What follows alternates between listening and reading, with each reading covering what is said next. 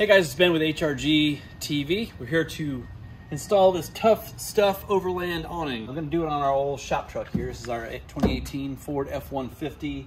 We just kind of use it for hauling stuff around, but we're gonna start doing more stuff with it as far as overlanding and off-road stuff. Got us a rooftop tent up here and some uh, decorative uh, canisters. We don't actually use those, they're just there for, for looks. But basically we're gonna add this awning now. We do sell these on hrgoffroad.com, so if you need one, the link will be in the description. This is a much, much higher quality piece than you'll find on Amazon. And you can tell right away with just the cover that it is much more durable and solid. It's got these really heavy duty zippers. Uh, the ones I've seen from Amazon, they're a lot more flimsy. But this is really, really well made. It actually comes with a really nice instruction manual. This is the instruction book here. It kind of shows you how to set it up, how to install it. Now it does show you the installation on a roof rack application. So you would actually bolt these brackets to a roof rack. Um, but we have this bed rack up here by RCI and that will allow us to bolt it directly to that. So we won't actually need these brackets here. So if you have a roof, regular roof rack, you will use these. They bolt to the back of this like so, and then you would bolt these to your roof rack. So uh, since we don't need that, we're gonna go ahead and bolt this directly to the RCI rack. When I unboxed this, at first thought that the hardware was missing, but the hardware is actually inside the bag here. So this little bag was actually inside here with the hardware and the instructions.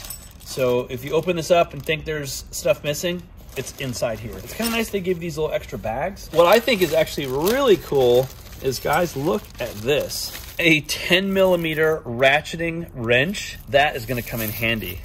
Look how nice that is. I mean, that's not like, that's a really nice piece right there. We'll not find that in an Amazon awning. So let's go ahead and take a look at the instructions here. First step is you're gonna install the bolts that go into these channels. So let's turn this over. These channels here is what holds the hardware that bolts it to the vehicle.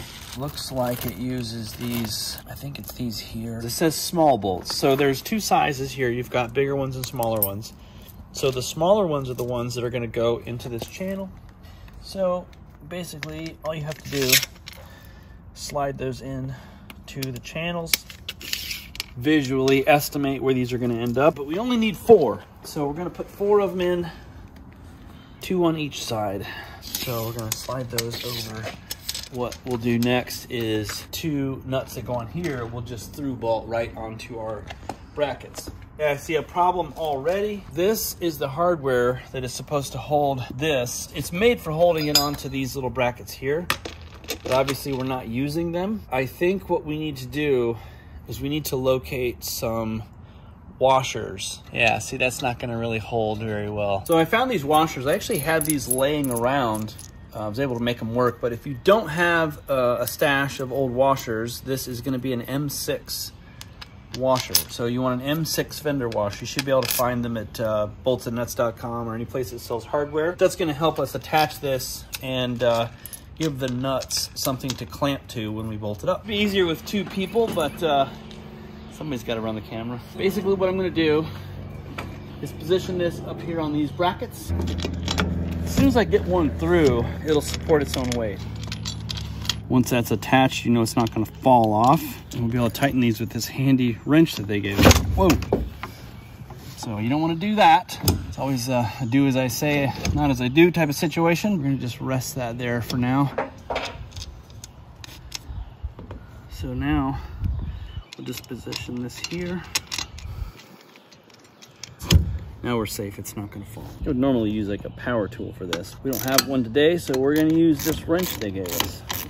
Another thing you want to look at is how it's positioned in relation to the cab and, and however you want it to, to be positioned front to back.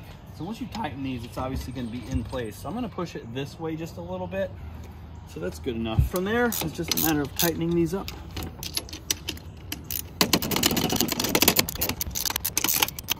Okay, to be clear, if you don't have access to metric hardware, this is actually an M6 washer, but quarter inch fender washer will actually work as well. So those are a little bit easier to find, I think. Yeah, there you go. Okay, and the instructions, it does show you the quick setup procedure, which is, I mean, it's more or less self-explanatory, but it's cool that they actually, uh, you know, spend the time to uh, show you how to deploy it and then put it away. So we're gonna unzip it all the way up like that. It's a really high quality piece. I can't say that enough. So you're gonna undo these little straps right here. I think they just, yeah, they just unclip. So you probably wanna keep those like that. Unroll this puppy and see what it looks like. Yeah, look at that. So now you'll have these two legs here that come down, and then you've got two more legs that extend. Oh, these are nice. They, you just twist them to, uh, to lock them in place. Like this, and then you will twist these like this, and that locks them. So now you'll take these two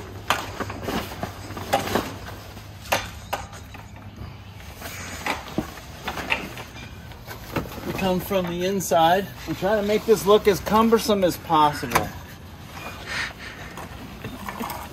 It's really not too bad. Now you're basically gonna flip these out like so. And then same thing, you twist them and these are gonna come all the way out and lock in right here. Once you get them into that little spot, then you're gonna wanna lock this one in place by twisting it. Same thing with this one here bring it around, and then lock it into place. There you go. There you go. Let's do this one a little bit tighter. Yeah, you just want to pull it and then twist that and it'll tighten in place. I mean, that's pretty quick. That was easy for one person doing it. Two people would be much easier. Lastly, you're gonna want to secure it with these little Velcro straps here on either side.